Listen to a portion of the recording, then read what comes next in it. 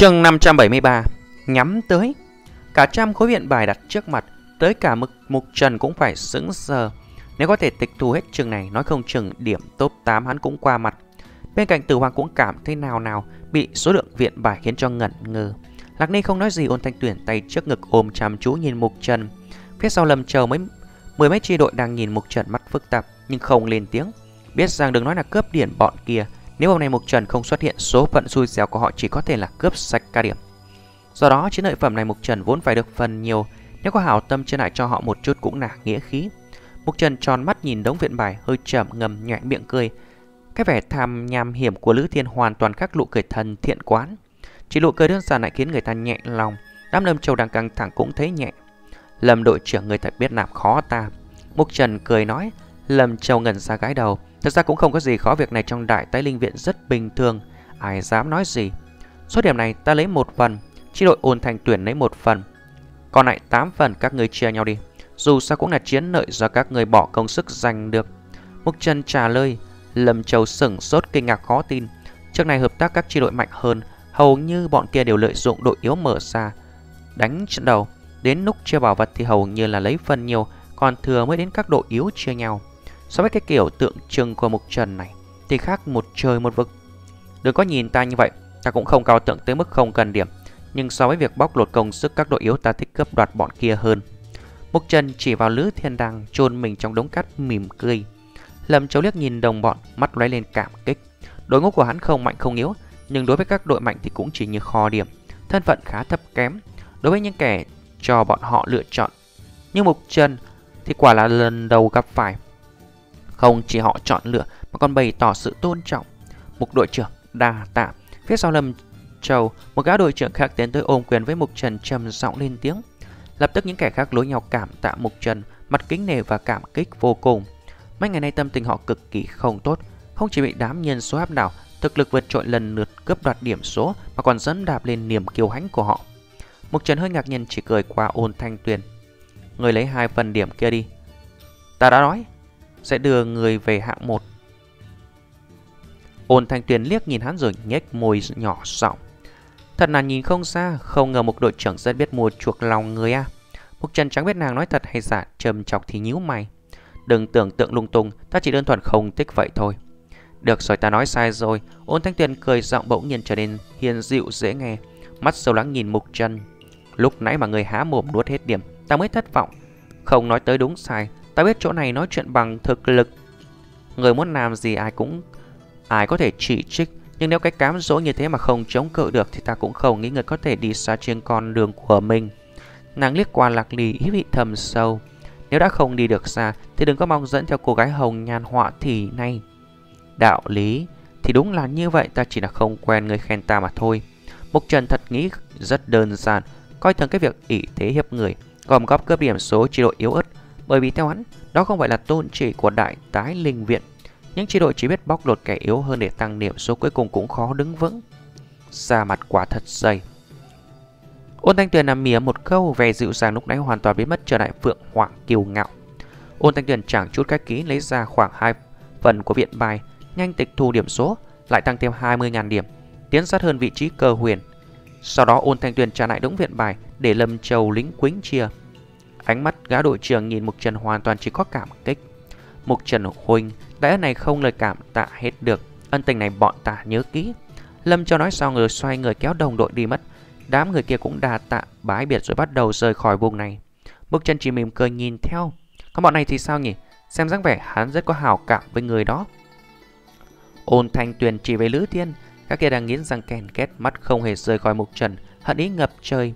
Mục Trần hơi nhau mắt Người như Lữ Thiên thực sự là quá khá uy hiếp. Nếu dễ dàng thả đi, Đến khi hắn ngóc đầu lên lại thì chẳng biết có phiền toái gì.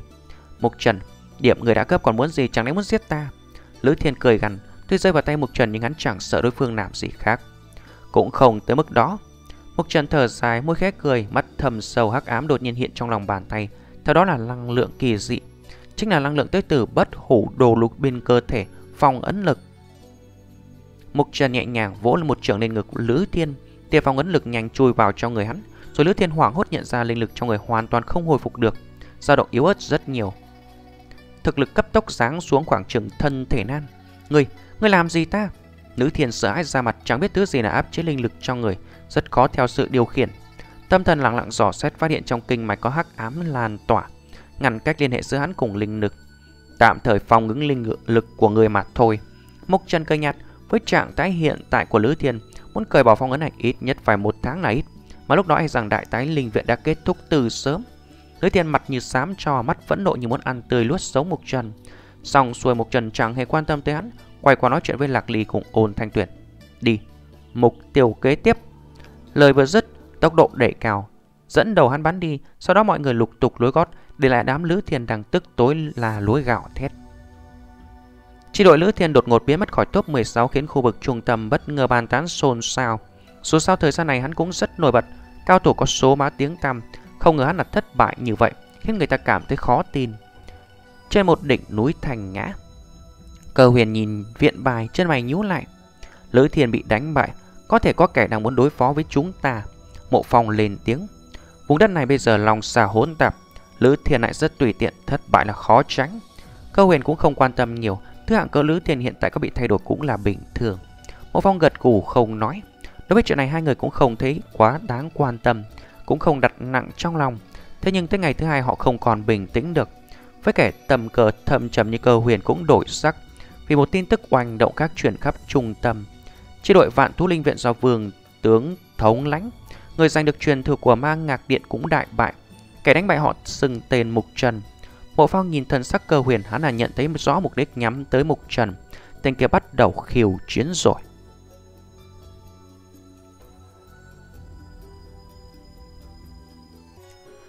Chương 574 Phòng bà bão táp Thời gian đến lúc này, đại tái linh viện tới hồi tranh bá cuối cùng.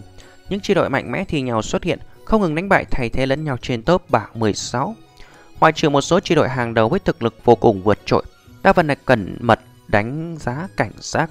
Chẳng biết khi nào làm bị một đội khác với thực lực mạnh hơn đánh bại, đoạt lấy danh vọng và điểm số của họ. Lữ Thiền hạng 10 và Vương Tống hạng 8 đều bị đánh bại, khiến không khí đại tái sôi động không ít. Bởi kẻ đánh bại họ chỉ là một chính là chi đội Bắc Thường Đình Viện do Mục Trần dẫn đầu. Mà thông tin càng thêm chấn động người ta biết, Lữ Thiên và Vương Thớ đều là đồng minh cơ huyền. Mục Trần không tìm mục tiêu khác, chỉ nhắm vào hai đội ngũ kết minh với cơ huyền, mục đích quá rõ ràng. Điều này khiến nhiều người ngạc nhiên khó hiểu. Hiện tại cơ huyền xanh tiếng vang dội đại tái linh viện. Thiên chi kiêu tử linh lộ ở cái lời thiên tài tụ họp này vẫn tỏa sáng như mặt trời giữa ban trưa, khiến bao kẻ chỉ biết nhìn lên. Không biết bao nhiêu chi đội mạnh mẽ phải bại trận dưới tay cơ huyền, trở thành nước thang cho họ tiến lên. Lúc này số đội ngũ có khả năng từ cách khiêu chiến chi đội cơ huyền chắc chắn không quá bàn tay. Thế nên với danh vọng hiện tại, việc mục trần nhắm vào cơ huyền khiến người ta không giải thích được cả hai quá tranh lệch. Ai lấy đáng sợ đang đợi câu hỏi của cơ huyền. Thế nhưng sau Lữ Thiên và Vương Tướng bị đánh bại, cơ huyền lại chẳng có hành động, nhưng hoàn toàn chẳng hề hay biết hay quên mất việc mục trần nhắm tới. Phản ứng của hắn khiến người ta khó hiểu, cơ huyền xưa này bá đạo, Hành động im lặng này không phù hợp với tác phong của hắn. Nhưng bất kể ai nghi hoặc cơ huyền vẫn nặng lẽ đánh bại những chi đội nhỏ lẻ khác cướp lấy điểm số củng cố vị trí hàng đầu. Trong đó, một cái chuyện khiến người ta chú ý nữa, một chi đội mới lọt vào top 16. Việc có đội đánh bại top 16 thay thế, người kia là chiếm trệ vị trí top 16 thật ra thời gian này quá đối bình thường, diễn ra thường xuyên, nhiều năm là và khiến vài kẻ chú ý, rồi một ngày sau trở lại bình thường. Thế nhưng chuyện này là khiến người ta chú ý không phải gì bởi vì chi đội kia lại là một chi đội khác tới từ Bắc Thương Linh Viện không phải Mục Trần. Hạng 16 Bắc Thương Linh Viện đội trưởng Trầm Thương Sinh. Cũng chính việc này, Bắc Thương Linh Viện trở thành linh viện duy nhất có hai đội ngũ lọt top 16. Sau khi đánh bại Vương Tướng, đội ngũ do Mục Trần dẫn đầu chiếm trệ vị trí hạng 10. Cầu huyền thật biết ẩn nhẫn. Trên một gò núi Mục Trần đang quan sát một chấn giao dịch nhỏ phía trước, vô số người thay nhau bay ra ngoài. Nhân khí đồng đúc hiện tại chính là nơi nghỉ chân quán. Cơ huyền sao vẫn chưa ra tay, hiện tại vị trí chúng ta rất rõ cơ mà. Từ hoa nghi hoặc mấy ngày này hắn đang lo lắng tăng cường cảnh sát phòng bị cơ huyền. Thế nhưng chẳng hiểu sao tên kia không có động tĩnh gì bất lợi. Bởi cơ huyền đang kiêng kỵ, Lạc Ly khẽ nói. Các người thật quá coi thường đội trưởng của mình. Trong linh nộ, hắn và cơ huyền là cựu thù, giao tranh chẳng phần cao thấp đó. Ôn thanh tuyền phi cười. Từ hoang gái đầu, mắt cũng ngạc nhiên, không ngờ chi Thiên chi kiều tử danh tiếng lừng lấy đại tái này lại chẳng chiếm được bao nhiêu lợi thế trước mặt Mục Trần, vậy thì hắn có năng lực và bản lĩnh chẳng kém cơ huyền. Khó trách sau khi gia nhập Bắc Thương Linh Viện chẳng ai can nổi Mục Trần, ra cũng là một tên bá đạo số rách. Triệu Thanh Sam cười méo miệng, trước kia trong ninh viện, bằng vào thân phận não sinh họ còn canh cánh trong lòng. Khi mà tới tân sinh Mục Trần vượt qua, lúc này không thể không bội phục. Các người đừng có tầng bốc ta, cơ huyền còn chưa ra tay vốn chính xác mà nói, vì hắn kiêng rẻ tới ba người. Hắn chỉ mình lạc đi cùng ôn thanh tuyền. Ngoài hắn ra hai mỹ nhân tuyệt sắc này mới là đáng gờm nhất. Trong linh nộ, lạc ly khiến cơ huyền không còn có cơ hội tranh giành được linh quan.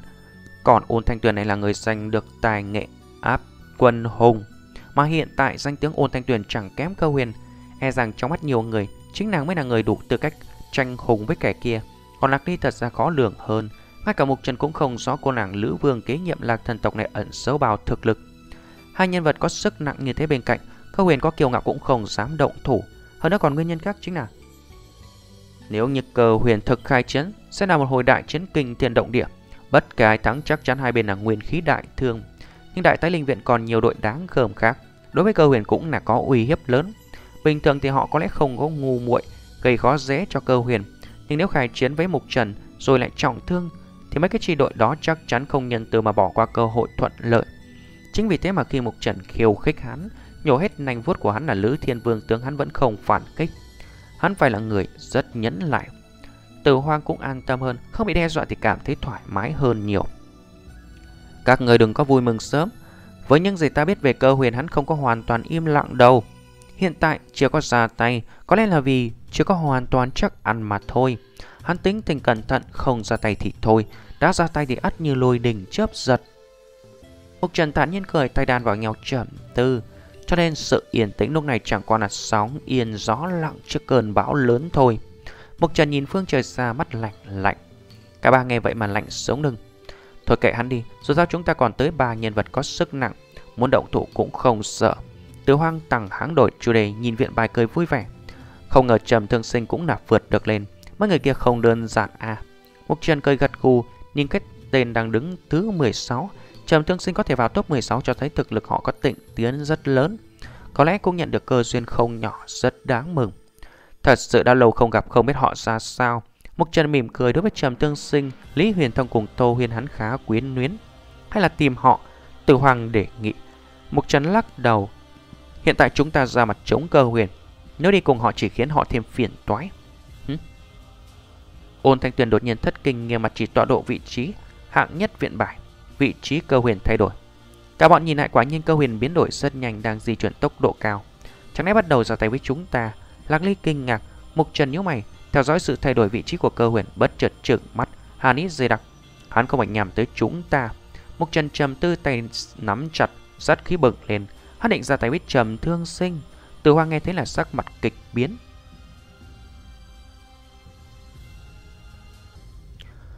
Chương 575 Phản kích Không khí trên đồi trở nên nặng lề lành lạnh Tử hoàng sắc mặt khó coi không ngờ rằng cơ huyền chẳng trực tiếp tìm họ mà chĩa mũi giáo sang nhóm chậm thường sinh. Hắn định dùng gậy ông đập lưng ông. Ôn thanh tuyền chậm rãi nói Mục trần mấy ngày nay bẻ nành chặt vuốt của cơ huyền Xem ra lúc này tên kia chọn phương thức giống vậy. Ra tay thành chừng chi đội còn lại của bác thường đình viện trả đũa mục trần. Cơ huyền làm việc rất cẩn thận, hắn biết hành động như vậy tất là người sẽ không khoanh tay đứng nhìn, do đó ta chắc chắn hắn có phòng bị. Lạc Ly trầm tư, Mục Trần gật gù câu huyền tâm tư thầm trầm nếu không chắc chắn sẽ không ra tay. Hiện tại đã có hành động, chẳng phải tên kia có cách không cẩn kiêng rẻ sao. Chuyện gì khiến hắn không e ngại nữa? Mục Trần mắt nói sát khí nhàn nhạt, đối thủ này đến giờ là vẫn khó đối phó như thế. Chúng ta làm gì? Mọi người nhìn Mục Trần câu huyền đã có chuẩn bị, nếu manh động không chừng lại lọt vào bẫy đối phương e rằng khó tránh khỏi chiến đấu thảm gốc. Mà tình hình hiện tại e rằng Mục Trần cũng không có nắm tuyệt đối thắng lợi. Mục Trần từ khi chú ý tấn công về cánh quán, đã đoán rằng cơ huyền cũng không có dễ dàng phản kích, chỉ im lặng chờ đợi thời cơ. Và việc án ninh bình bất động khiến cho danh tiếng hắn suy giảm. Sự việc diễn ra đúng như Mục Trần dự liệu, nhưng lại có biến cố xảy ra. Chấm thương sinh chẳng biết từ đâu chui vào top 16, bại lộ hành tung trong mắt cơ huyền. Thành ra chiêu này của cơ huyền lại là trả mũi dư luận. Quay về Mục Trần, lúc này chắc chắn có nhiều người chú ý suy ý quan sát, chờ đợi phản ứng Mục Trần. Nếu an minh bất động hay mạo hiểm cứu viện mặc cho cơ huyền đã có chuẩn bị, An ninh bất động là khiến danh tiếng Mục Trần tổn hại không nhỏ, dù sao thì họa cũng là do hắn mà ra. Mà hiện tại cơ huyền lại chút giận nên đám Trần thương sinh. Mà Mục Trần khoanh tay đứng nhận nhìn chắc chắn không ít kẻ, chê cười đàm tiếu. Nhưng nếu hành động mà thất bại cơ huyền cũng không để hắn có cơ hội chờ mình. Mục Trần chậm rãi nhắm mắt, mở mắt trở lại thần sắc bình tĩnh hơn nhẹ nói. Đi thôi, bất kể cơ huyền chuẩn bị thứ gì đối phó ta, tình huống này chúng ta không tới ắt có lỗi với bản thân. Mục Trần thản như nói, hơn nữa ta cũng tò mò muốn biết hắn là dàn dựng vở tuồng nào đây. Cho dù thế nào ta cũng cho hắn biết, muốn ăn Mục Trần ta, dạ dày hắn cũng chẳng có lành lặn gì đâu. Trong linh lộ như thế, ở đây cũng vậy. Mục Trần bình tĩnh, bình tĩnh thong song, khiến mọi người là Trần chấn định hơn, sắc mặt nghiêm túc gật đầu. Lạc Ly nhìn Mục Trần một hồi khét cười, nàng thích nhân là cái tự tin bên trong con người hắn, không phải lỗ mãng mà là tin vào chính mình. Cơ huyền rất mạnh, hắn cũng có sự kiêu ngạo không thể coi thường. Ôn thanh tuyển tay viến tóc, quét mắt nhìn gương mặt Mục Trần, xem ra lần giao tranh sắp tới là khiến cho đại tái chấn động. Hai nhân vật hàng quái kiệt đỉnh cấp giao tranh, kẻ nào là người thắng? Mục Trần vung tay lập tức bay đến, hóa thành tia sáng hướng đến vị trí tọa độ chậm thường sinh. Mọi người nhanh theo sau, để lại tiếng xé gió, cây cối lắc lư, phòng áp dữ dội. Trong lúc đó, hầu như mọi người quan sát viện bài mình, theo dõi lần hành động kinh thiên đang diễn ra và động thái cơ huyền cùng Mục Trần. Không khí đại tái được dịp sôi động. Tiếng tam cơ huyền không ai sánh bằng, tới hiện nay vẫn chiếm cứ vị trí nhất. Mục Trần gần đây là cường hoành phát trận do Tiêu Hoàng bố trí, rồi là một chiêu đánh bại bà vị đội trưởng cường giả top 16, sau đó là thanh trừ đồng minh cơ huyền, nghiền nát lữ thiên hạng 10, cấp tốc đánh bại vương tướng hạng 8. Tiếng tam quán theo đó là nhất phi chủng thiên, mà đặc biệt khi hắn đánh đồng minh của cơ huyền, gã lại không có trả thù ngay, án minh bất động, ra vẻ kiêng rẻ khiến nhiều người nhớ kỹ cái tên Mục Trần. Lúc này cả hai đều có hành động, đối chân lần này cực đáng mong chờ, nhưng chỉ đội có thực lực nhanh chóng định vị mục tiêu, bay lên chân trời hướng thẳng đến vị trí xác định trên viện bài. Theo đó, không khí đại tái trở nên sôi nổi cực độ. Véo một tia sáng xỏ ngang bầu trời, Mục Trần bay đầu tiên mắt nhìn phương xa, gương mặt bình thản không biểu hiện. Hắn cảm nhận không khí hiện tại trở nên náo nhiệt, cũng do cơ huyền dẫn động mà ra. Chi đội quán hiện tại có lẽ là đội ngũ mà người ta chú ý nhất đại tái linh viện lúc này. Cơ huyền đã chú ý đến hành động của chúng ta, tốc độ họ tăng lên nhiều, có lẽ tìm được trầm thương sinh trước chúng ta. Lạc Ly đột nhiên bay lên, đến gần lên tiếng. Mục Trần chứng mắt nhìn viện bài quả nhiên phát hiện tần suất đổi tốc độ, tọa độ của cơ huyền nhanh hơn. Tốc độ khiến hắn giật mình. Tăng tốc, Mục Trần lập tức ra lệnh, hắn phải đuổi kịp cơ huyền trước khi Gác kia tìm được trầm thương sinh. và không nếu để lọt vào tay đối phương thì thủ đoạn uy hiếp Gác kia là dành đủ mọi trò. Long ảnh thanh hình gầm lên vang vọng, tốc độ đẩy cực cao. Lạc Ly ôn thanh tuyển cũng dốc sức thi triển tốc độ, lập tức bỏ xa những người còn lại một khoảng cách. Lúc này ba người mạnh nhất trong nhóm dĩ nhiên đành phải làm vậy. Phải bắt kịp cơ huyền. Trong một sân gốc khá vắng vẻ, khung cảnh khá thoải mái nhạt nhẽ. Năm người đang ngồi ăn tĩnh xếp hàng nghỉ ngơi trong đó. Cách vài giờ họ lại trải qua trận đại chiến. Chiếc đội kia rất lợi hại, cũng là trải qua một hồi lòng tranh hổ đấu cam go mấy thắng. Cũng nhờ chiến thắng đó họ củng cố vị trí thứ 16. Tên nhãi mục trần kinh nhanh chân thật, vậy mà đã leo đến hạng 10. Hạc yêu chép miệng tấm tắc. Tiểu tử kia vốn không đơn giản, Vậy bây giờ mà mới hạng 10 khiến ta khó hiểu đó Trầm thương sinh cười Bắc Thương Linh Viện chúng ta hiện tại là linh viện duy nhất có hai đội ngũ lọt top 16 Lý Huyền Thông cũng mỉm cười Ai nấy vui vẻ gật đầu Hử?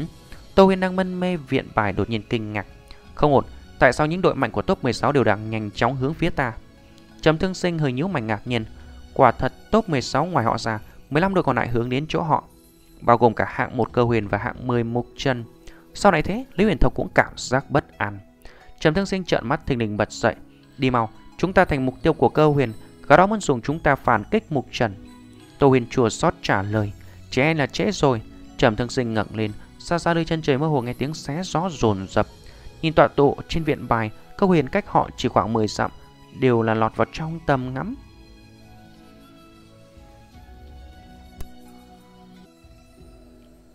Chương 576 truy đuổi. Không khí an hòa trong sơn cốc bỗng trở nên căng thẳng. Năm người sắc mặt khó coi phiền toái thình lình ập tới khiến họ trở tay không kịp. Dù rằng cũng đạt được cơ duyên không nhỏ giúp cho thực lực tịnh tiến rất nhiều, nhưng chắc chắn còn chưa đủ sức trở thành đối thủ đội ngũ cấp độ cờ huyền. Nếu gặp gã kia xem như là số phận đã định. Làm sao đây? Hạc yêu biến sắc so hỏi, trầm thương sinh sắc mặt ẩm tỉnh bất định nghiến răng nói. Ta cầm viện bài trốn, mọi người phân tán. Lý Huyền Thông trầm mặc. Qua cách này bọn họ có thể phong tỏa chúng ta, dù một mình chạy trốn cũng vô dụng. Hơn nữa bắt được mình người hay bắt được bất kỳ ai trong chúng ta cũng chẳng có khác gì. Chỉ cần một người trong chúng ta rơi vào tay họ, tất nhiên trở thành con tin để đối phó Mục Trần. Với tính cách tên kia, khó có khoanh tay đứng nhìn. Nếu không, thì lúc này cũng chẳng cần vội vã chạy tới đây. Chúng ta cùng nhau đi. Cơ huyền có lợi hại chúng ta cũng không phải đám bụt nhão. Dương Nân là nghiến sang hào hùng. Trầm thương sinh sẽ tay ngày rôm rốp, mặt tái đi cảm giác khuất nhục đầy lòng. Vốn là cao thủ kiều hãnh của Bắc Thương Linh Viện. Trước khi Mục Trần xuất hiện luôn là bá chủ thiên bảng, mà hiện tại tình hình nguy ngập hắn lại hoàn toàn bất lực. Rầm, Trầm Tương Sinh tức giận nện một quyền vào khối đá bên cạnh khiến nó vỡ nát. Trước tiên phải lùi đi đã. Mục Trần đang tới bất kể thế nào cũng phải kéo dài thời gian chờ họ tới cứu viện. Đến lúc đó mục đích cơ huyền cũng thất bại. Lý Huyền Thông Tô Huyền gật đầu, họ cũng không muốn rơi vào tay cơ huyền, trở thành con cờ cho tên kia đối phó Mục Trần. Đi, Trầm Thương Sinh quát khẽ lập tức bay lên bỏ trốn, bốn người còn lại cấp tốc đi theo. Cả năm người dùng tốc độ cao nhất xuyên qua không trung, theo tiếng xé gió ào ào vang khắp sơn mạch. Trầm Thương Sinh gương mặt âm trầm, nóng giận không hề che giấu, tay siết lại nổi cả gân xanh. Chạy trốn như thế này là lần đầu tiên hắn phải làm, rất không cam tâm. Xa xa phía sau, đám không khí bị xé toạc chuyển tới tiếng rồn rập, đi mau. Trầm Thương Sinh biến sắc. À, chư vị Bắc Thương Linh Viện, chúng ta từ xa chạy tới các vị không tiếp đón có thất lễ quá không? Tiếng cười thản nhiên vang, nghe giọng nói năm người cảm thấy lòng cực kỳ nặng nề. Đừng quan tâm đi tiếp. Trầm Thương Sinh nghiến răng, thình lình dựng gấp lại, mắt trợn tròn, nhìn đỉnh núi phía trước mặt, một cái bóng áo trắng đang khoanh tay đứng đó như chờ đợi đã lâu. Cái áo trắng gương mặt anh Tuấn, lụ cười tươi như ánh sáng mặt trời khiến người ta khó lòng phòng bị. Nhưng Trầm Thương Sinh nhìn rõ mặt gã thì sắc mặt không khỏi kịch biến. Cơ huyền. Chư vị ở lại đi. Cơ huyền cười nói, nằm mơ. Trần Thương Sinh nước mắt ra hiệu với bốn người nghe mắt bắn đi theo nhiều hướng khác nhau. Câu huyền nhìn thấy cũng thở dài mắt khó hiểu, chờ đắn vung tay, linh lực cường hãn như dòng sông từ tay bắn ra. Dòng sông linh lực chia ra năm ngả, xuất hiện truy đuổi năm người trên không, hóa thành năm cái hình thái cự trưởng đè xuống đối phương. ầm, tiếng động như sấm sét vàng vọng. Cả năm người bị bức phải bắn lùi về. Ngoại trừ Trầm Thương Sinh và Lý Huyền Thông, chỉ hơi lảo đảo ba người còn lại kêu lên đau đớn mặt thái nhợt. Thực lực cơ huyền lại khủng bố như thế, một trưởng bức lùi cả năm. Bọn họ buộc phải trở lại với nhau, mắt đầy chấn động sự mạnh mẽ của cơ huyền là vượt xa dự đoán. Thực lực của họ hiện tại, Trầm Thương Sinh và Lý Huyền Thông đều là nhất trọng thần phách nan địch. Gần như chạm tới nhị trọng. Tô Huyền, Hạc Yêu, Dương Đần đều đã có thực lực linh lực nan. Đội hình này rất khá, nếu không cũng có mặt chèn chân top 16. Dù vậy đội hình như thế chỉ mình cơ huyền đã có thể chặn đứng. Chưa bị bằng hữu Bắc Thương Linh Viện, các người hẳn biết rõ mục tiêu chúng ta không phải các người, chỉ cần các người bó tay chịu trói ta không làm khó. Cơ huyền tỏ ra ôn hòa, Trầm Thương Sinh không trả lời, mắt lóe sáng. Vù phía sau họ tiếng vàng xé gió, bốn bóng người khác xuất hiện bảo vệ tứ phương, phong tỏa hoàn toàn khu vực, xem ra là đội viên cơ huyền. Năm người bị vây, sắc mặt ảm đạm, cục diện là không thể dễ trốn thoát rồi. Họ nhìn nhau mặt bình tĩnh dần chuyển sang sắc lẹm. Dù hết cơ hội trốn thoát cũng không thể bó tay chịu trói, phải tranh thủ thời gian. Động thủ, Trầm Thương Sinh và Lý Huyền Thông cùng lúc lao ra, trường thương trường kiếm xuất hiện, kiếm ảnh thương ảnh liên miên bất tận hướng tới công kích cơ huyền. Cùng lúc đó, Tô Huyền Hạc yêu Dương Lân cũng hướng một chỗ, liên thủ đánh bại một người để mở đường máu, nhanh thoát khỏi phong tỏa. Rầm rầm, công kích dữ dội phá tan nát đỉnh núi của cơ huyền đang đứng, đá lở âm âm, cơ huyền bước trong không trung nhẹ nhàng bay lên, áo trắng vẫn như cũ, không hề vướng chút bụi. Công kích liên thủ của Trầm Thương Sinh và Lý Huyền Thông chẳng thể làm khó khăn. Xem ra các người không có tán thành đề nghị của ta. Câu huyền tiếc nuối nắc đầu, nhẹ nhàng bước tới. Vù, chân vừa hạ xuống, thân hình như thuấn di xuất hiện trước mặt hai người lướt qua. Trầm Thương Sinh và Lý Huyền Thông chỉ kịp trợn mắt. ầm, hai người phản ứng nhanh nhạy, phản xạ tung trường, linh lực hùng hậu vồ tới cơ huyền. Đùng, ngay lúc đó cơ huyền là giờ trường đón đỡ, ba luồng trường kình đối chiến. Cơ huyền chẳng hề suy xuyển, còn Trầm Thương Sinh và Lý Huyền Thông như bị trúng một đòn nặng đau đớn vang ra, Lào đảo trên không trung một hồi, hai cánh tay run rẩy đau nhức như xương cốt bị chấn nát. Ta nghĩ các người ở Bắc Thương Đình Viện cũng là cao thủ hàng đầu, thế mà bây giờ để Mục Trần một tên tân sinh lên đầu ngồi, có lẽ cảm thấy không thoải mái lắm. Đã như vậy chi bằng liên thủ với ta giải quyết Mục Trần, đã lấy danh nghĩa Thánh Đình Viện cam đoan bảo vệ các người tiến vào vòng quyết chiến. Cơ huyền ra lời dụ dỗ hai người. Hắn ở Thánh Đình Viện cũng là tân sinh, biết rõ những đệ tử ưu tú lâu lắm cảm thấy ghen ghét thiên tài tân sinh thế nào. Nghĩ tới một trần sống hắn, tình cảnh có lẽ không khác bao nhiêu. Những người này có lẽ chẳng có hào cảm gì với Mục Trần. Nhưng ngoài sự đoán của hắn là sai lầm. Trầm Thương Sinh và Lý Huyền Thông chẳng nghe hắn trù tuyết chỉ mở miệng cười sằng sắc trầm chọc. Cái vẻ trầm chọc khiến gương mặt ấm áp. Quật cơ huyền dần tan. Nếu đổi là đám người thánh ninh viện cơ huyền dám khẳng định, họ lập tức đem hắn ra bắn. Không ngờ là cái tên Bắc Thương Linh Viện này tỏ ra ủng hộ Mục Trần. Nhưng thế này chẳng phải là Mục Trần ở Bắc Tương Linh Viện thể hiện hoàn mỹ hơn so với hắn sao? Thật không biết suy nghĩ, câu huyền cười nhạt là bóng dáng lại tinh linh biến mất. Bùm, kinh người, kinh lực, lần thứ hai bùng nổ, Trầm Thương Sinh và Lý Huyền Thông lại bị đẩy lùi, khóe miệng ứa máu, nhưng họ chưa kịp phản ứng thì cơ huyền lại hiện, công kích sắc bén dữ dội ập tới. Uỳnh uỳnh cả hai chật vật liên tiếp bại lùi, dù liên thủ vẫn bị cơ huyền áp đảo. Không thể đánh trả, chỉ chốc nát mà thường thấy họ càng lúc càng nặng thêm. Đùng phía bên kia, ba người còn lại liên tục đột phá một hướng nhưng mà gã thanh niên thánh ninh viện một mình vẫn chiếm thượng phong. Hả, các người chọn cho ta phá vòng vây, vì nhìn bề ngoài ta yếu nhất ư, gã thanh niên mỉm cười chính là tên mộ phong. Ba vị trí khác, bà gã, đội viên thánh ninh viện phong tỏa vòng vây, chỉ đứng nhìn không tham chiến. Với họ, ba người kia đột phá sang một vị. Một trong ba vị trí này có lẽ là còn có cơ hội Thế nhưng lại chọn nhầm vị trí mộ phong, Thực lực tên kia trong đội ngũ này gần với cơ huyền nhất. Tô Huyên và hai đồng đội mặt khó coi, Không có nói gì, Chỉ công kích càng mạnh mẽ. Mộ phong không cần tha, Mộ phong còn muốn chọc kẹo một hồi Thì giọng cơ huyền lạnh chuyển tới. Xem ra các người xui rồi, Mộ phong nghe tiếng cười liền à Càng thêm quái dị.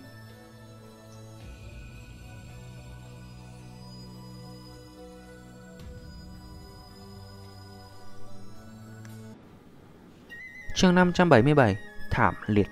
Ba người nhìn nụ cười trên mặt mộ phòng liếc nhìn nhau, Rồi linh lực vận lên hết cỡ bụng phát. Phủ Ba người phóng tới trải qua thời gian chiến đấu khá lâu trong đại tái, Họ phối hợp cực kỳ nhuần nhuyễn. Cả ba thực lực tuy chỉ mới là linh lực nan Nhưng liên kết lại cao thủ nhất trọng, Thần phách nan cũng phải e ngại. Chỉ có điều mộ phong này cũng không phải cao thủ nhất trọng Mà chân chính là nhị trọng thần phách nan Thế này còn là mạnh hơn Lữ Tiên mà Mục Trần từng đánh bại vài ngày trước. Đối mặt công kích mãnh liệt ba người mộ phong cười nhạt, thanh Ninh gọi ra một thanh trường kích màu đỏ. Trên trường kích dường như có hoa văn đỏ tươi hình trăng khuyết, tàn ra dao động đáng ngại. Mà Nguyệt kích, Nguyệt chạm, mộ phong hờ hững quét kích chém xuống, hào quang đỏ tươi lóe sáng. Mỗi kích trở thành một cái vầng trăng khuyết hùng hãn chạm hạ xuống đầu ba người. Huyết Nguyệt xuyên qua để lại một đường đỏ tươi trong không trung. Cả ba biến sắc vội thi triển bản lĩnh mạnh mẽ.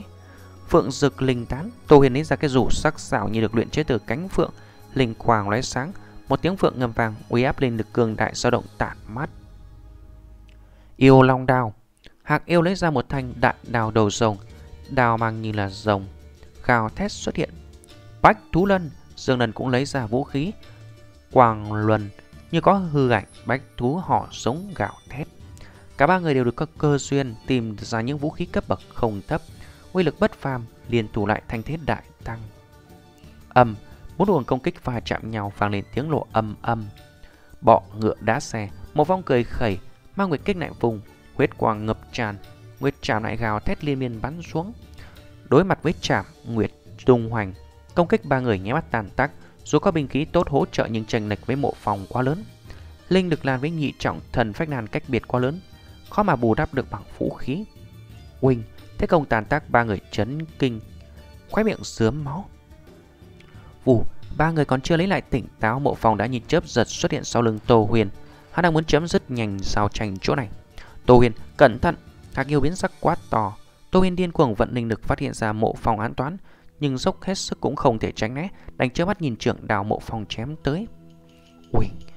Nhưng mà khi công kích sắp đánh trúng Tô Huyền, Lực mạnh mẽ từ bên cạnh đánh vào vai nàng chấn nàng bay đi. Hà Kiêu đưa thân chắn trước người Tô Huyền. Trường đào sắc bén của mộ phòng chẳng hề nương tay bổ xuống, Xoẹt máu tê phun. Hà Kiêu thảm bại, Bàn tay trái bị mộ phòng chặt đứt, đau đớn run rẩy lao đảo lùi.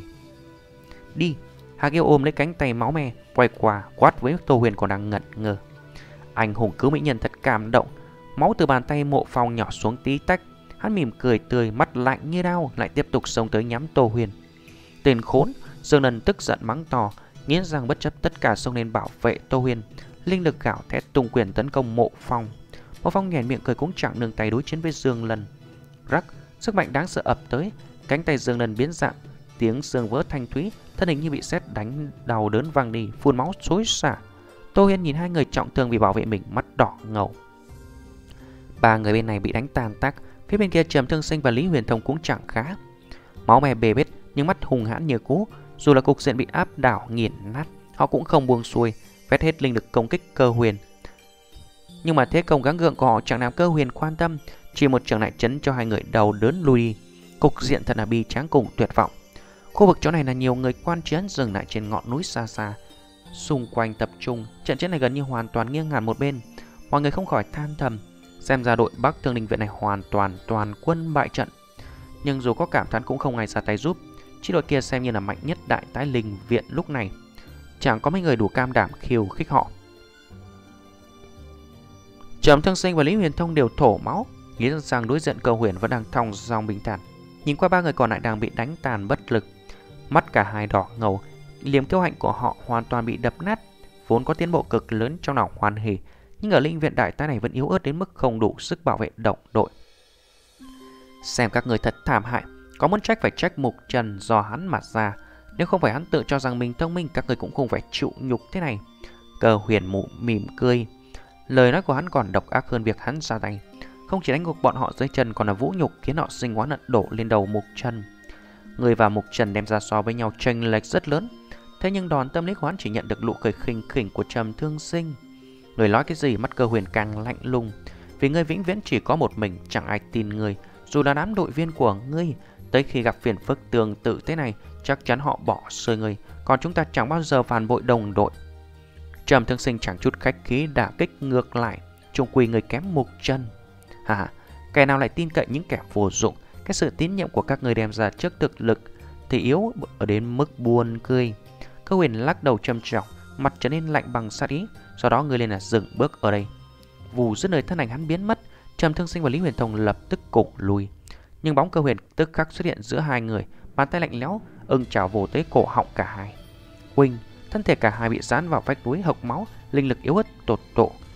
Trước mặt là cơ huyền hai bàn tay siết chặt cổ, Khiến cả hai không thể động đậy. Phía bên kia, Mộ Phong cười tủm tỉm nhẹ giọng chọc kẹo Tô Huyền. Giờ là xem anh hùng nào giúp được mỹ nhân. Hắn nào thẳng hướng Tô Huyền. Tô Huyền nghĩ rằng chỉ còn cách dốc tận lực liều mạng với mộ phòng Đùng, mà Nguyệt kích đâm vào chiếc hồ Sức mạnh đáng sợ khiến Tô Huyền run dậy Chấn bay vũ khí trong tay Vù Mộ phong áp sát Tô Huyền mỉm cười nhìn dung nhan xinh đẹp của nàng Lộ cười lạnh lẽo tung trưởng Kết thúc Tô Huyền cũng là tuyệt vọng buông xuôi ầm ầm thình đình sấm vạo bạo vàng Mộ phong biến sắc Hắc lôi từ chân trời rạch một đường ngang giữa không trung tốc độ như chớp giật nện vào cơ thể mộ phong. Bùm, mộ phong trúng đòn lập tức văng xuống đất, lún sâu vào lòng đất để lại hố to. Hắc lôi đánh mộ phòng rớt đài còn chưa dừng, hơi quyền hùng hãng lệ xuống tiếp tục tấn công mộ phòng chưa kịp bỏ dậy. Hự, mộ phòng kinh hãi phun máu, tầng đất sập thêm một mảng. Hắn gào lên định dãy ruột thoát ra, nhưng bàn tay đầy lôi điện thộp cổ hắn khiến hắn không cách nào cục cựa.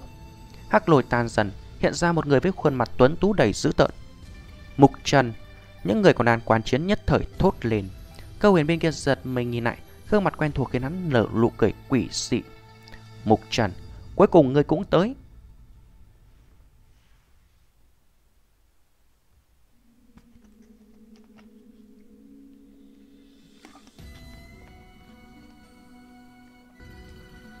Chương 578 Sòng vườn tái kiến Vùng đất rộng lớn bóng người lố nhố, nơi này trở thành khu vực được người ta quan tâm nhất. Những đội ngũ mạnh mẽ đứng trên không quan sát tập trung, ánh mắt đổ dồn về mặt đất, nơi một người đang đứng đó với hắc lồi cuốn quanh thân. Sát khí dày đặc từ cơ thể hắn toát ra khiến nhiệt độ trong không khí lạnh đi nhiều. Đó là Mục Trần. Hắn đã tới, còn đến chết e rằng chi đội Bắc Thương Ninh Viện toàn quân bị diệt. Cơ huyền ra tay cũng ác thật, xem ra việc hôm nay sắp xong rồi. Cơ huyền cũng không dễ đối phó đâu, Mục Trần gần đây tiếng tăm vàng rội nhưng có thể chống nổi cơ huyền sao. Thực lực hắn mới chỉ là linh lực nan. Tiếng bản tán xôn xao đang chú ý tới hai nhân vật chính. Đêm diễn mong mỏi là xảy ra trận đại chiến kinh thiên. Mục Trần đứng dưới mặt đất đổ nát, túm lấy cổ mộ phong. Sát khí toát ra khiến người ta thấy hắn muốn hạ sát thủ chắc chắn không do dự. Mộ phong mặt mày xanh lên bất lực uất ức nhìn Mục Trần. Khi nãy đối phương ra tay quá nhanh khiến hắn trở tay không kịp, nháy mắt bị Mục Trần áp chế. Hắn tuyệt không tin chính diện giao đấu Mục Trần là thắng được. Tô Huyền nhìn xuống cả nửa năm không gặp hắn không đổi nhiều, trước điều gương mặt ôn hòa thường ngày là đằng đằng sát khí. Tô Huyền xóa vết máu trên môi, tim đang tuyệt vọng cũng bình tĩnh lại, lòng cảm thấy an tâm hơn. Mục Trần quay qua nhìn Tô Huyền mắt dịu một chút. Tô học tỷ ổn chứ? Tô Huyền lắc đầu quay qua Hạc Yêu cùng Dương Lân. Họ đều trọng thương, bàn tay Hạc Yêu bị mộ phòng chém đứt máu chảy ròng ròng. Dương đầu Dương Lân cũng máu me đầy mình khát thê thảm. Cả hai thấy Mục Trần xuất hiện là thở vào nhẹ nhõm. Mục Trần tỏ giấy nấy gật đầu cho họ. Hạc Yêu dựa vào khối đá miễn cưỡng hỏi Mục Trần có chắc ăn không? Dĩ nhiên hắn muốn hỏi Mục Trần có chắc chắn ứng phó được cục diện này không? Dù sao chi đội cơ huyền chiến lực cực mạnh. Có ta ở đây, họ chẳng tổn thương được mọi người. Mục Trần đáp lời. Vậy chồng cậy vào người. Hạc yêu chậm rãi gật đầu. Mục Trần ngẩng lên mắt hờ hững nhìn một hướng không xa. Mọi người theo ánh mắt hắn nhìn lại. Sát khí dày đặc khiến không trùng như cô đặc. Mục Trần. Cuối cùng người cũng tới. Câu huyền là không buông tay khỏi cổ. Trầm thương sinh cùng Lý Huyền Thông nhẹ miệng cười. Đến xem vở tuồng nhà ngươi chuẩn bị cho ta phấn kích hơn lần trước hay không thôi. Mục Trần lại mỉm cười đáp lại. Câu Hiền cũng cười. Hẳn là khiến người không thất vọng. Ta đang đợi đây. Thả mộ phong ra. Trên bầu trời ba gã, đội viên Thánh Linh Viện quát lớn, bắt lạnh lẽo khóa chặt Mục Trần. Thực lực cả ba đã đến nhất trọng thần phách nan trình độ, Thế không sánh kịp mộ phong, tôi đối không kém cỏi. Thế nhưng mà tiếng quát của họ Mục Trần là hờ hững chẳng nghe thấy. Hừ, cả ba liếc nhau cùng lúc tung trường, linh lực hóa thành trường ấn từ cao, tấn công xuống công kích Mục Trần. Mục Trần chẳng mẩy mày tỏ ra quan tâm. Đột nhiên thanh âm rít gào, ba đạo kiếm quang xuyên phá không gian rạch tới. Kiếm quang gào thét, xẻ qua ba đạo trường ấn thành 6 phần, tàn nát ra thành đốm sáng rơi đầy đất. Đầy trời. Mọi người vội vã nhìn phương hướng kiếm quang chém ra, hai bóng người như truy tuỳnh đuổi nhiệt bay đến. Hiện ra hai mỹ nhân xinh đẹp hạ xuống cạnh mục trần. Hai cô gái thướt tha mảnh khảnh, nhàn sắc như thù nhường nguyện thẹn. Tất cả mọi người là chố mắt lên nhìn. Đó là ôn thanh tuyền. Cô gái kia là Lạc Ni. Ta biết nàng, Lạc Vương Linh Lộ. Ngay trước ở trận tranh đoạt đình quan cả cơ huyền cũng bị nàng ta đánh trọng thương. Xem ra các nàng đều giúp mục trần Hai cô gái này không đơn giản đâu Muốn e ra tay E rằng cơ huyền cũng không dám chắc thắng Khó trách mục trần lại cam đảm xuất hiện Hai làng vừa xuất hiện là lập tức khiến nhiều người chú ý Hai mỹ nhân tuyệt sắc dĩ nhiên là hấp dẫn hơn hai gã trai thổ lỗ như mục trần cùng cơ huyền Lạc Ly và ôn thanh tuyền đứng hai bên trái phải mục trần, Thoáng nhìn sắc mặt hắn là tập trung nhìn chú ý sang cơ huyền.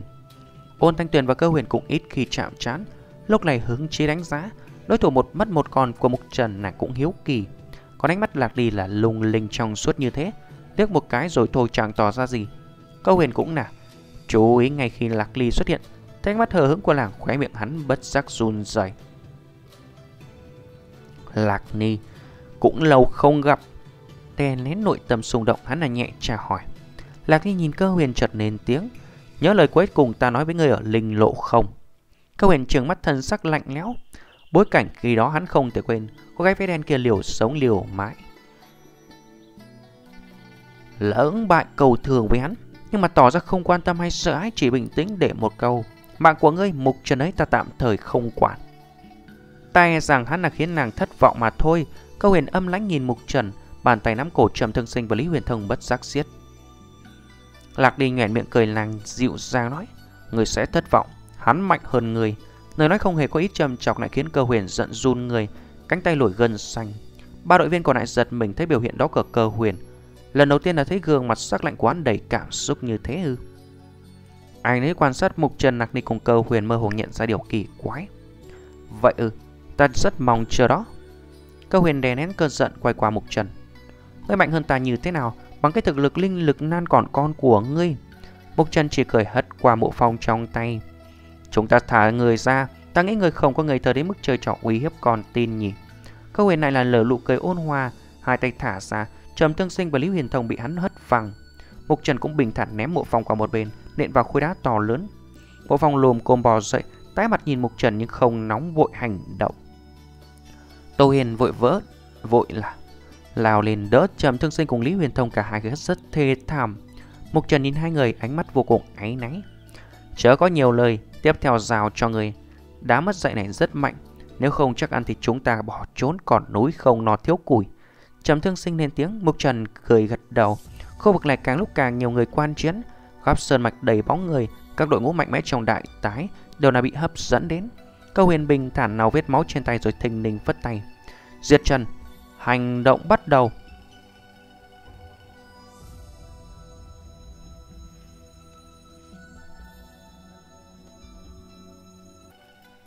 Chương 579 Ngửa bài.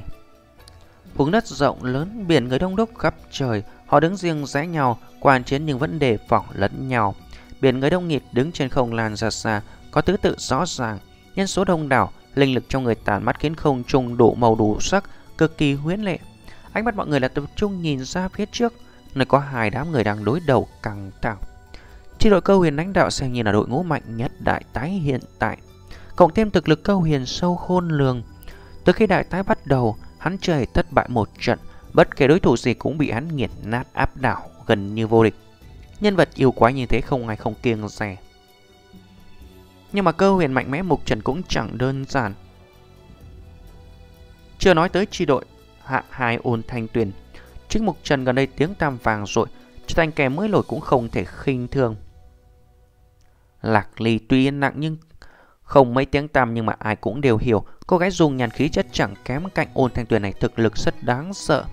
Đội hình chỉ cần ba người chiến lực tuyệt đối là khiến người ta run rẩy. Hai đám người đối diện. Cuối cùng kẻ nào chiến thắng bất cứ ai cũng là tò mò muốn biết. Ngay khi bàn tay cơ huyền vung, bất giác mọi người thận sắc căng thẳng.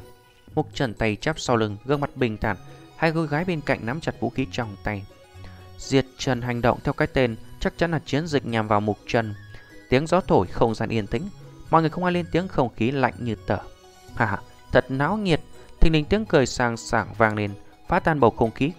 Quỷ dị. Phù mọi người nhìn qua đỉnh núi Vài bóng người chậm rãi hiện. Người đi đầu là một thanh niên áo xanh Tóc dài phong thái thong song. Hắn xuất hiện cuồng phòng quanh núi trở nên dữ dội Hội tụ về đỉnh núi tạo thành phong bạo. Đó là, Người người nhìn huy hiệu trên ngực áo hắn. Tấm viện huy màu xanh như là vòm trời xanh thẳm Là viện huy của một trong ngũ đại viện Thành Thiên Ninh Viện. Đó là thành thiên ninh viện Liễu Thanh Vân, Dĩ nhiên là hạng 4 bằng điểm Liễu Thanh Vân. Gia cơ huyền âm thầm mời hắn tới. Mọi người nhận ra kẻ mới xuất hiện, Liễu Thanh Vân là cao thủ hàng đầu. Nhân vật cấp bậc đó có tư cách tránh tranh cường. Không ngờ hôm nay là chịu nhận nơi cơ huyền.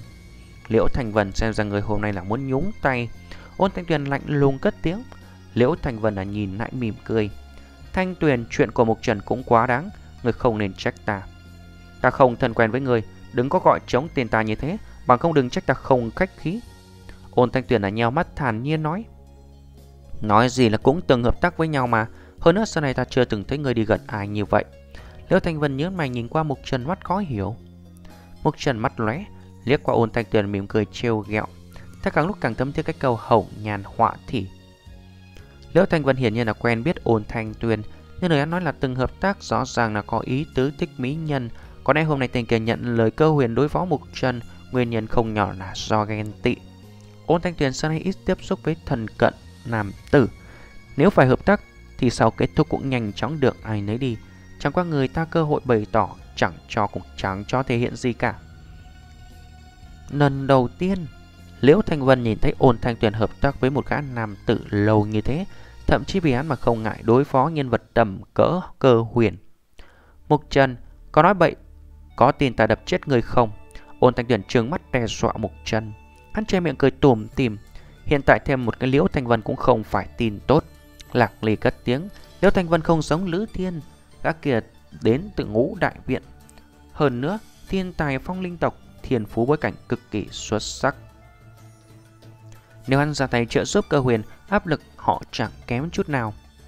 Mục Trần nhẹ gật đầu, mắn không phải là tất cả những gì cơ huyền chuẩn bị sẵn.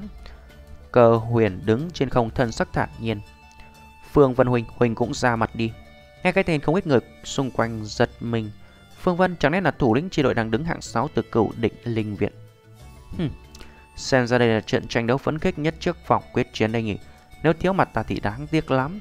Tiếng cười nghiền ngẫm vàng Trong biển người đông đúc có vài bóng người bay lên trước.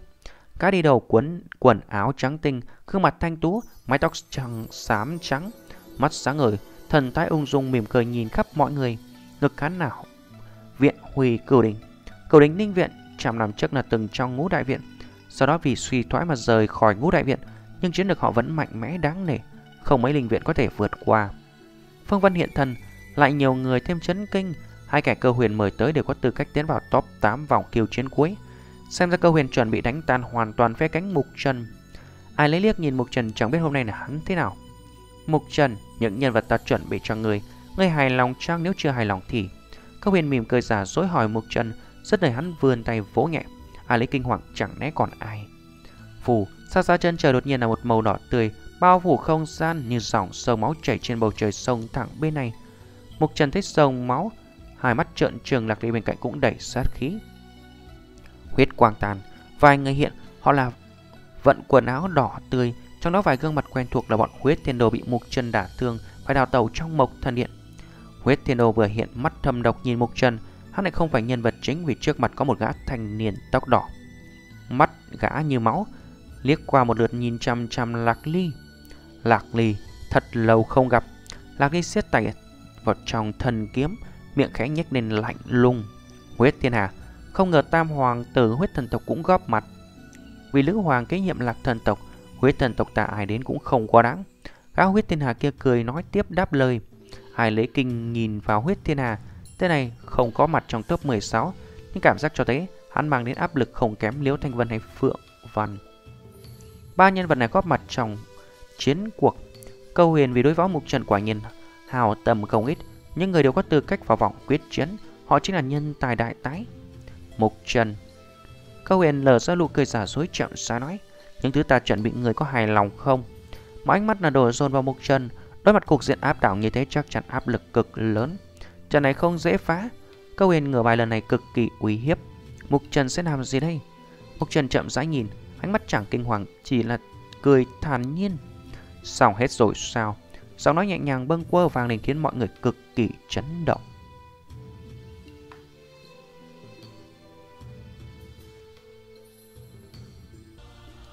Chương 580 Đội hình rằng co.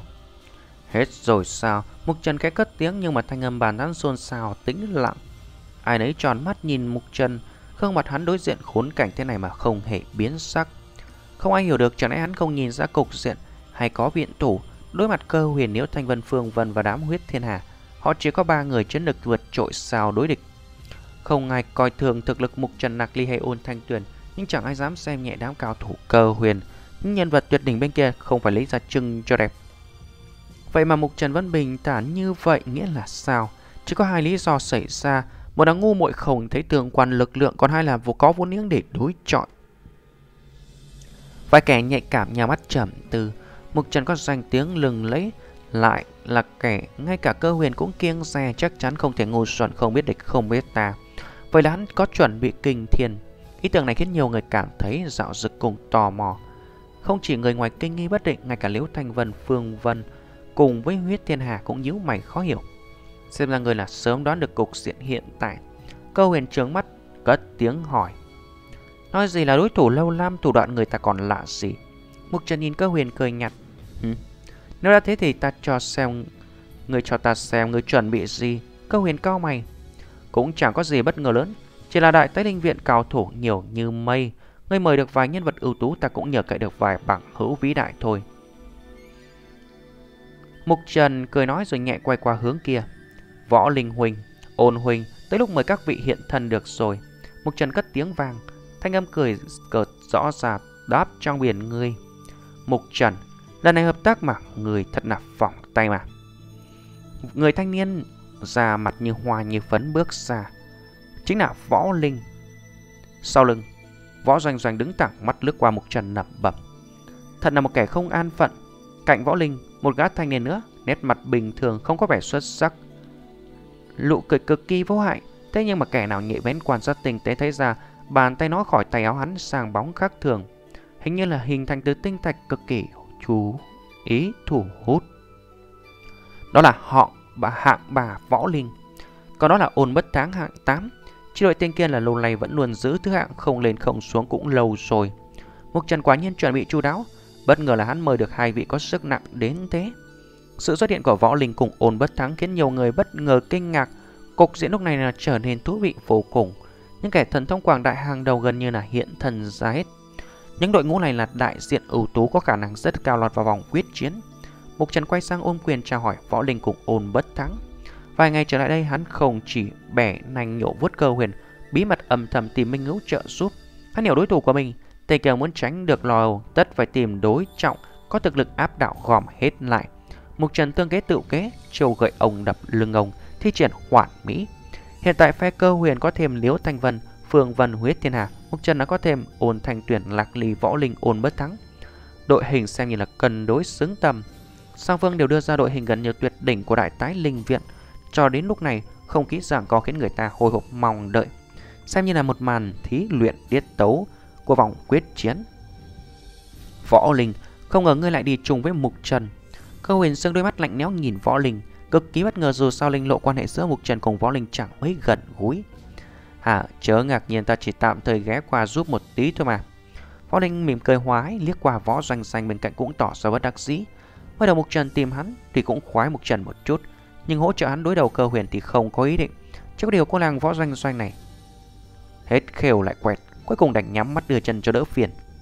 Hừm, tầm nhìn thiền cận, cơ huyền là ai? Gã đó có giá tầm to lớn, cứ ngồi đợi hắn giải quyết xong Mục Trần thì chúng ta thoát khỏi tay hắn sao? Cái gã này để giành được quán quân con đường Hắn đi, ai mà không quét sạch. Võ Doanh Doanh nhìn vẻ mặt Võ Linh tỏ ra bực bội.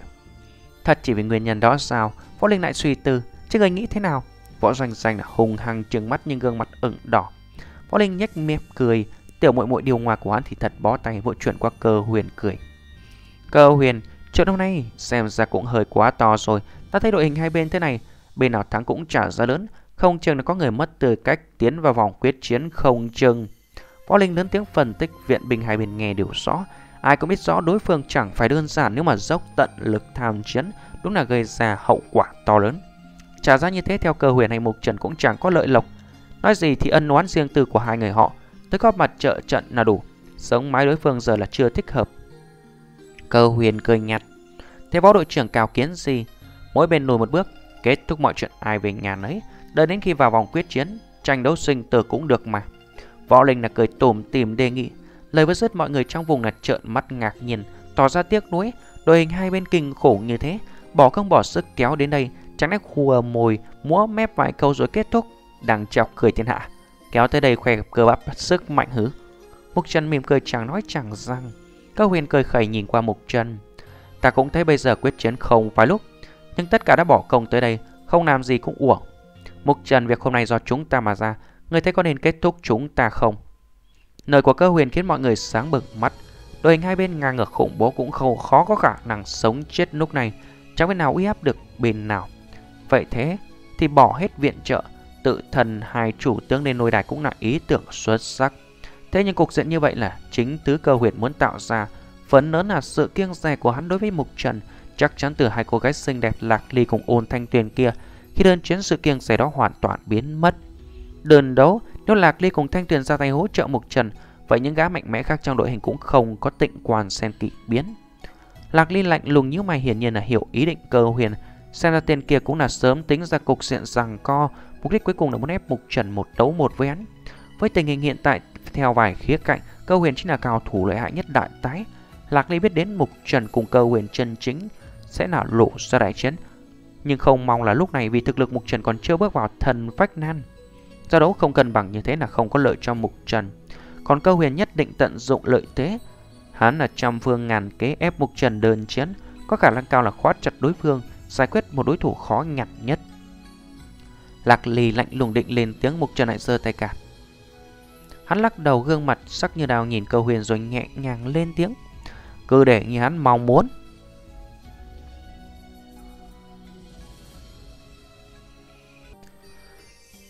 Chương 581 Đối chiến kinh thiên.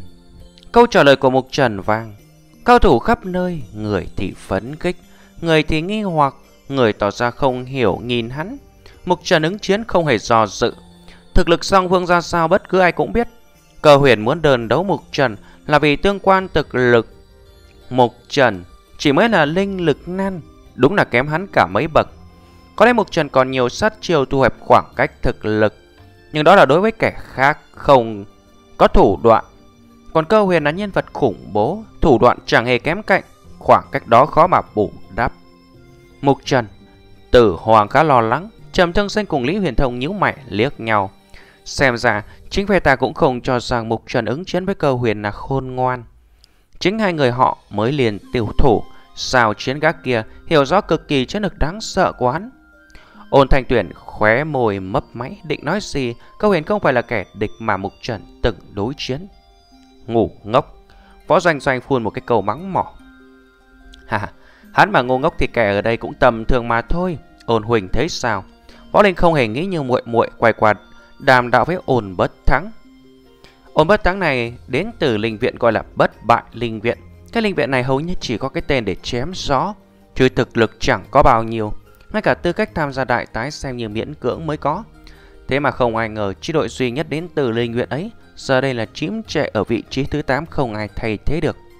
Cái thứ hạng đó không phải đơn giản, xem như là cánh cổng bước vào vòng quyết chiến.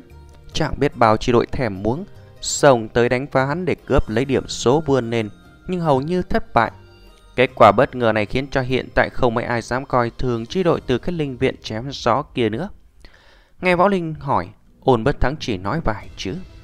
Cầu huyền rất lợi hại. Hắn hít sâu một hơi rồi nói tiếp, nhưng Mục Trần cũng rất khó đối phó.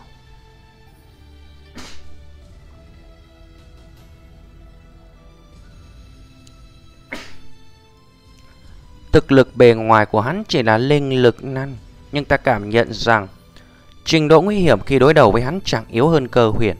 Trận giao chiến này rất thú vị, còn kết quả ra sao chỉ là xem đi. Nghe hắn đánh giá vậy, võ linh mỉm cười thích thú gật gù tán thành. Đúng sẽ rất thú vị. Mục Trần chậm chậm tiến lên, cơ huyền nhào mắt cười nhạt. Bằng cái thực lực linh lực nàn mà ngươi cũng có được thành quả hiện tại đúng là vẫn là khác người thường. Mục Trần nhìn chăm chăm vào đối thủ nhưng không nói gì nhẹ nhàng bay lên không. Hai tay siết chặt, hắc lùi lẹt xoẹt bắn ra quanh người, mang theo tiếng sấm động, xệt xí. Ra đây đi, để ta xem mấy năm nay người tiến bộ ra sao. Mục Trần khẽ nói. Cơ huyền cười, nụ cười không chút thân thiện. Mọi người nhìn thấy linh lực ngập trời như biển rộng.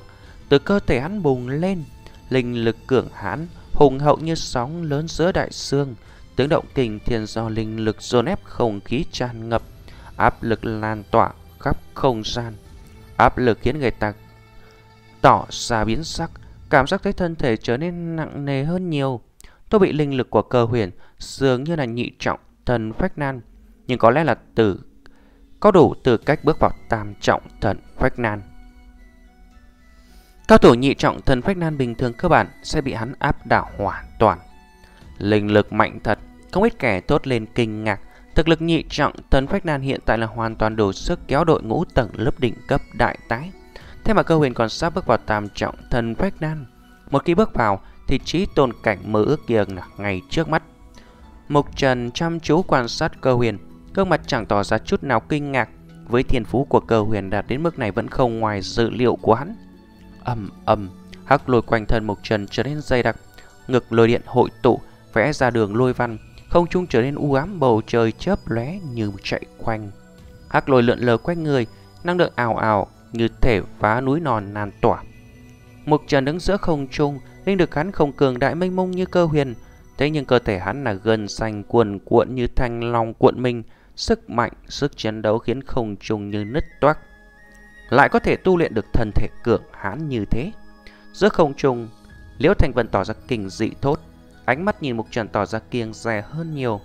Trước trí tôn cảnh, luyện thân thể là cực kỳ khó khăn, muốn tăng cường cảnh giới là gian nan và trả giá nhiều hơn tu luyện linh lực.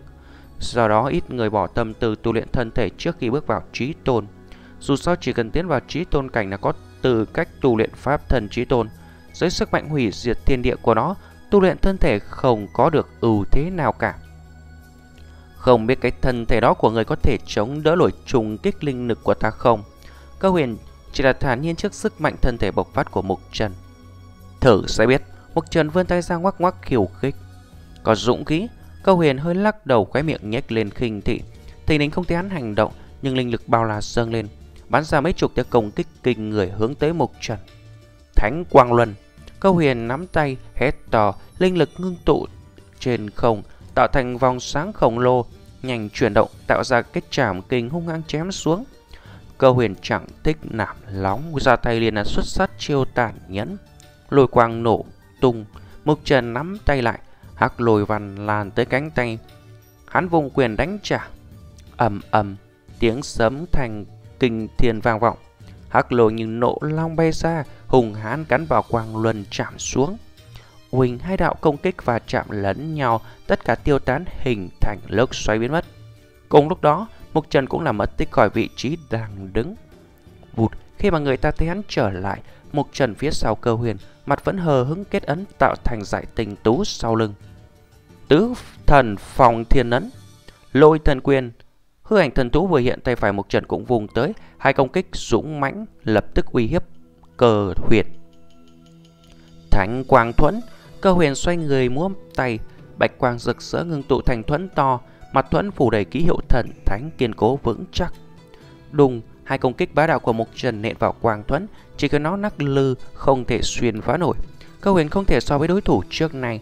Hắn không chỉ có linh lực mạnh mẽ còn có tu luyện thần quyết bất phàm, chiến lược khiến người ta ganh tị thở say Thánh quang thủ cản được thế công của Mục Trần, cơ huyền vung trưởng linh lực hóa thành bàn tay khổng lồ, vỗ trở lại đối thủ.